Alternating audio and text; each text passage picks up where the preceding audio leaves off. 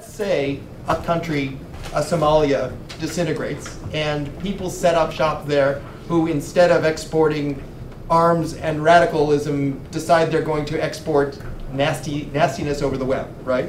Um, what's your sense? Is it possible? Yes, it is. I, um, so to Thanks kind of touch on this past, what Ron was talking about as well as others, um, and kind of touch on that.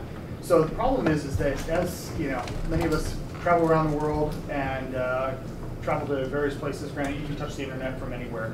Uh, you can jump into a country and jump out. Uh, from a security standpoint, I don't rely on the DNS to go to, you know, Reuters.com or you know BBCNews.com. Simply put, you can bypass the DNS through the IP system. And a lot of countries are not blocking at the IP level.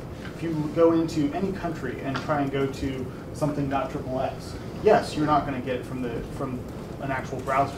But if you do a Whois lookup, which is relying on the DNS, or if you know the IP addresses of your servers, you can get to them.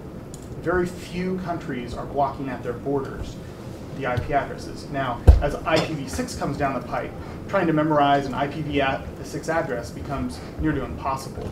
Um, you know, just from from the scripts that I run for various tasks that I do for penetration testing and stuff like that, you have to be able to grab that from somewhere, which is relying on the Whois and the DNS. So, yes, to to say that countries can block and censor is one thing to the normal user. To those of us that are in the security world, that, you know, and those that are technically competent, to be able to go in and do things in other ways than the traditional end user, it, there's a big problem there.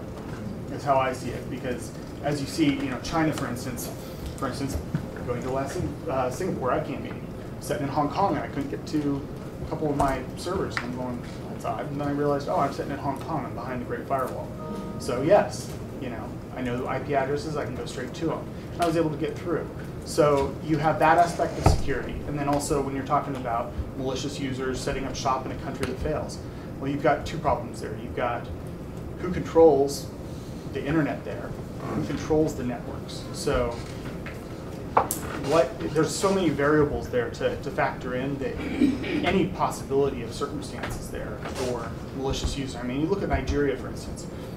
You go to Nigeria and put a Visa card or a MasterCard in, it'll automatically get blocked. In fact, when I was in Egypt, that happened. Called my bank and they said, if you're coming from Nigeria or Egypt, your car, and you use your card there, it's going to get blocked. Period. They won't even they wouldn't even release it. So there are countries that already exist like that. So the problem is, is you know, law enforcement can only do so much to penetrate that before corruption becomes the larger problem.